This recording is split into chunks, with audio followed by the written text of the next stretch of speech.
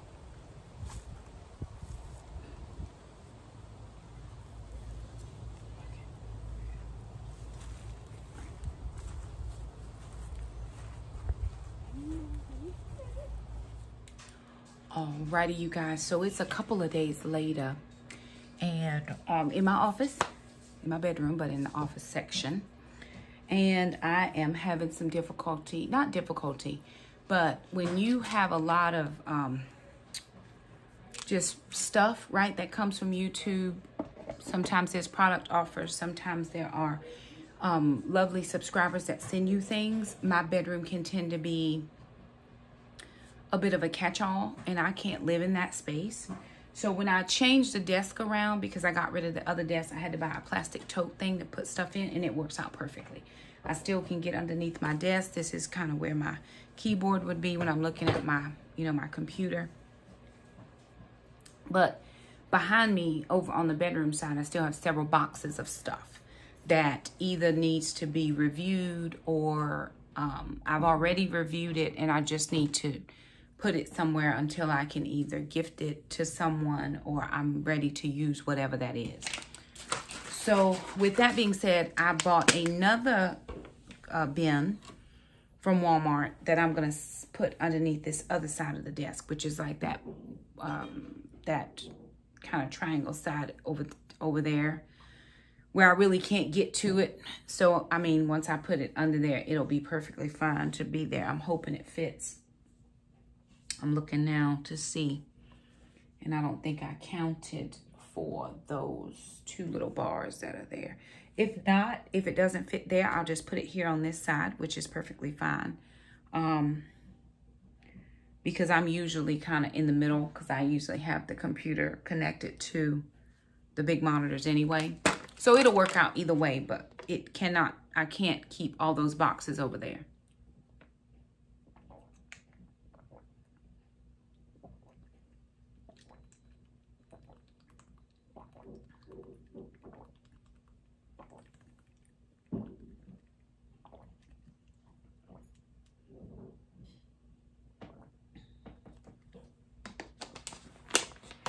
While I'm saying that, I'm in the middle of, um, not in the middle. I just started back the 75 hard. So for those of you who follow me before, I was doing 75 hard. I was about midway through when I got sick with COVID September the 10th, when I tested positive for COVID September the 10th. And I didn't have a lot of the symptoms that I've heard other people have. I'm going to work on this while I'm talking. Um, what I had was extreme fatigue. I was just worn slap out. Now, that could have been a combo deal of all the hours that I work. doing One Mom and doing First Love and all the groups and, you know, all the other things. So it could have been a combo of all of that. I'm not saying that it it wasn't. All I'm saying is none of that fatigue stuff showed up until I had tested positive for COVID. Well, I was down until about, I was out of work until about the 20th because back then you were able to stay out the 10 days, right? You were staying out the 10 days. So something is still closed. Oh, there's some tape over here. Okay. So, um, anyway, by the time I was released by the doctor, I still wasn't feeling back to myself. I had been working out hard and it could have been that I had been working out so hard that my body was just um so fatigued from the 75 hard because I think I was like on day 35, 36, somewhere in there. My friend Olivia and I were doing it together. And um, I was just on like day 30 something, right? Because I had to actually start over. I had actually started over. I wasn't too far in when I first started, and I had to start over because I missed my outside workout. Is the one that I typically, if I'm gonna miss it, is for the outside workout. I'm not. I'm gonna get everything else in. Like I went to the gym today, and then I just got back in from doing the outside walk. I said, let me do it now because I was going to try to get some stuff done in here first. But I already know. I was like, I got a little bit of light. I'm going to go ahead and get, get my 30 minute walk in and live my best life. So um, 30 minutes at the gym, 30 minutes outside. I just chugged that water because that was my third bottle of water today. I still have to do one more bottle of water and I've got some reading and some writing to do. I did some writing earlier, but I've got to do a little more to meet my quota for the day. Just some stuff I need to work on um, as far as personal goals and different things like that. Um, while I have you guys on here, I'm think, well, I don't know. I hadn't decided that quite yet. Let me think on it a little more. Haven't quite decided on anything yet, but um anyway, I wasn't able to finish it. And then I didn't really feel better until about December. And in December, I would probably say I was still, I hadn't gained any of the weight back by December. Well, come January and we're trying to figure out this eating. We're trying to just eat what we have because groceries are getting more expensive. So I started eating carbs again and then I was just hooked on carbs, right? That's just how it goes. When you start, you cannot close that, the door is open. And so from September to December, I didn't even have strength to do nothing but get out the bed, go to work. I could go to work, but that was about, you know, really all. I, I had stuff to do around here, but it was all I could do to just function. So after that, um, I just was eating everything and I was trying to eat keto and then, but the cost of the, you know, keto stuff and, well, we have these things in the pantry. So, you know, excuse after excuse and I was just eating. And even as I'm looking at my face now, my face is much more round than it was.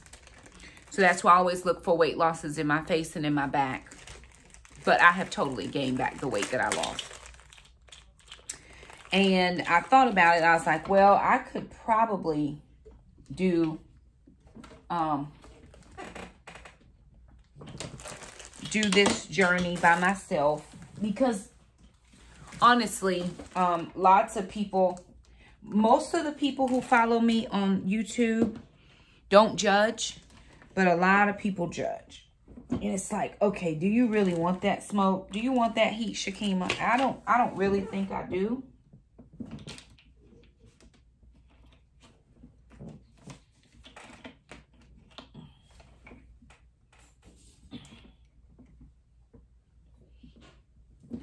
Sorry, y'all. I'm trying to put these wheels on with my bare hands.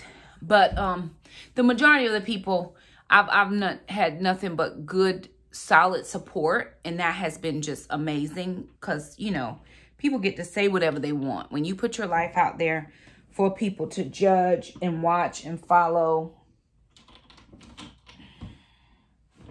You know, they, they are going to say what they want. Okay, good. Okay.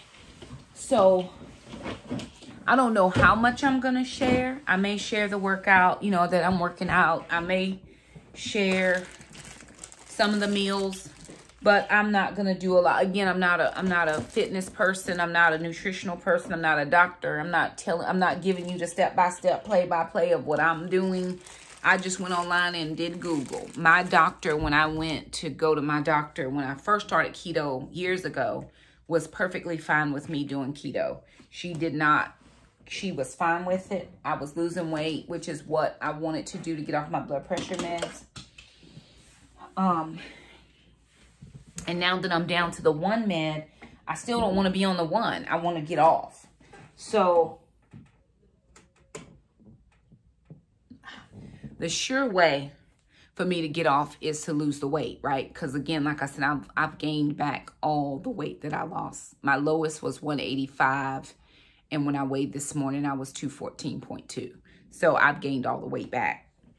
Um, that sedentary lifestyle um, only. Well, and then we changed dojangs. So Jackson was able to go to Taekwondo unlimited, right? And we would go four days a week. Four days a week, I would be walking this. They have this huge, big parking lot thing. They're kind of in a strip mall thing, but it was a huge parking lot thing. And I would walk that thing four days a week. And I would go to the gym four days a week because he was there for hours. Where he goes now, he can only go two days a week. Well, he can go to three classes. Two of the classes are on one day and one class is on another day. And the classes are only 40 minutes.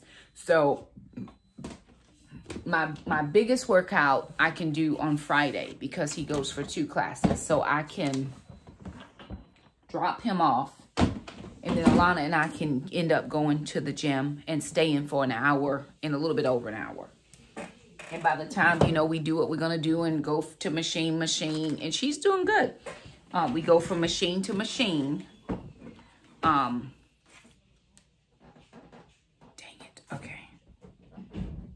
it's worked out just fine. I'm gonna move my chair.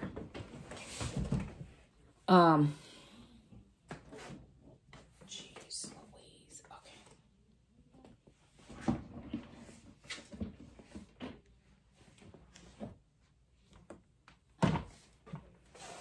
The things we do for ourselves and our business and our homes and our children and all of the people. There we go. Now I gotta see where it's gonna fit. Okay.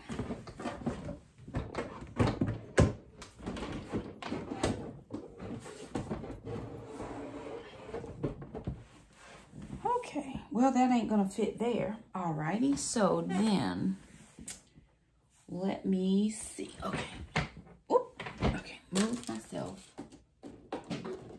So anyway, that was one of the things because when I had first started going, uh, when I when I was going to Taekwondo for a long time with Jackson, and I would just sit there and watch him. And then it was like, why are you watching him? There's a gym right here. You got a membership. You can leave him. He'll be fine while you go to the gym. So that was my routine. But then, of course, like I said,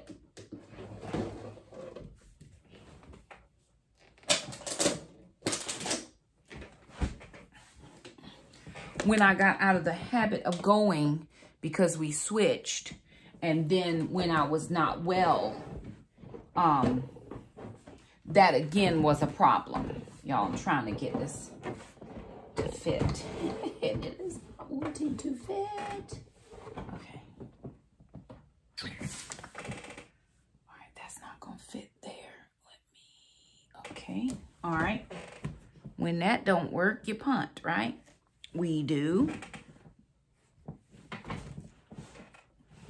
I'll put my trash can right there because we've been drinking a ton of water. Okay, let me see if I can't get it back out now. Same way I got it in. Gonna have to get it back out.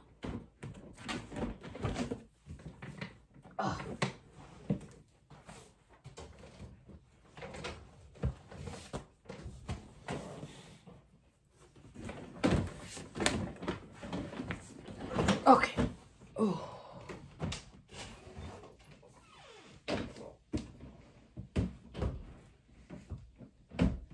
Okay.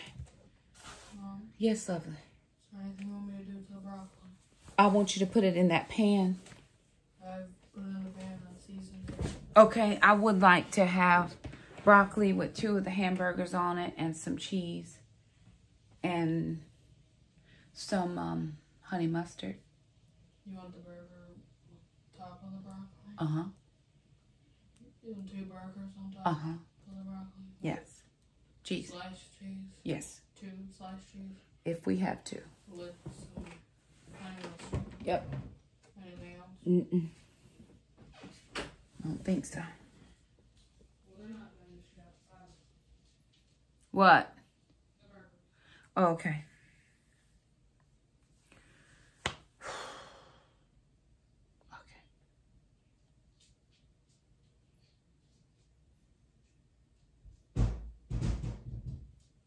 All right, now I'm gonna have to um I'm gonna have to turn my file cabinet around because now I have the file cabinet coming this way that's gonna bump into that cabinet. So I'm just gonna shift it and turn it this way, which will be totally fine. Let me take care of that. I'll chat with you guys when I'm done. All right, you guys. So here's what I did. I took the big one back, right? Because it was over here and it was really making me feel a little crowded. Those two review things, um, I'm going to be using this in the next week. And then this will be a review. That's Those are reviews. They can stay there for now. They won't be there for long. But having that big thing there kind of cut my space off here and it just was driving me insane. So I took it back and I actually just got the half size, which the bigger one is the better deal. This is $21. This one is 15 And you get twice as much space, right, for six more dollars. So this is the better deal, but this one would not fit because I have those two um, bars under here. Like, let's see if you can see it. That bar right there, and then there's another one on this side if they were not in that particular space, I could have shoved another one right in there, but they're there, so it doesn't work. But anywho, I've got, you know, I've got some review stuff there. I've got planner stuff down here that I'm trying to, to gift. I have a giveaway in there that I totally forgot about that I need to do. I haven't done it, but I need to do it, and I'll probably do it very soon. So this is just where I can keep all of my review stuff that I am working on current. And then if I need to, um, if I'm gifting something away to somebody or what have you, then it, it comes here to sit. So it's not sitting on the other side. It was just sitting in a little corner around here and then another little corner. And I don't want anything that has to do with YouTube One Mom in my bedroom. So this is the office and this is where we're going to work with. So anywho, there that is. So there it is, you guys. Um, I am done for the evening. Shakema is done. Um, it's the next day from when you saw that first clip. Um, I did clean off my desk. I just, I did go to the gym and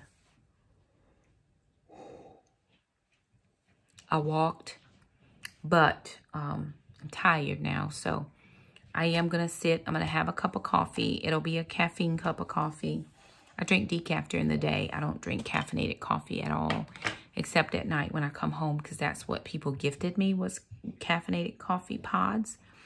So I will have one cup of coffee and then um, something to eat. It's nine, but I need to get some protein in. Um, I'm not going to worry about the scale. I'm going to worry about how my body looks and how my clothes fit. That's how I did it the first time. I'm only on 75 hard day number two, but I got my inside workout. I got my outside workout. I did went to the gym and I walked. So I did weights and some machines and then I walked for 30 minutes. And last time it worked, you know, it just worked. My body was in good shape. So I give myself six weeks, which is 42 days, 42 days, which is just over half of the 75 hard for my body to get in shape, working out an hour a day every day. Um, so I'm only on day two of the first 42 days, which is a six week cycle. There are some programs that allow you to rest in between workouts, but 75 hard does not allow that. So I'm going to follow the plan just like it is. And faithfully if I'm able.